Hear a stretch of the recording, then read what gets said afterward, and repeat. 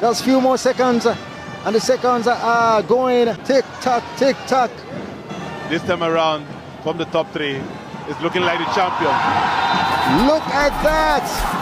The referee whistles for the end of the match. Stanley Guma perplexed.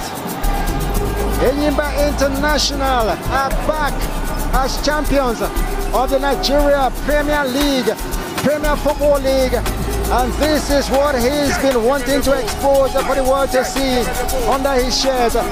Finidi George gets the hug of congratulations. He'll get more of that and more and more and more. Enyimba International 2019, last time they won. Enyimba International are back.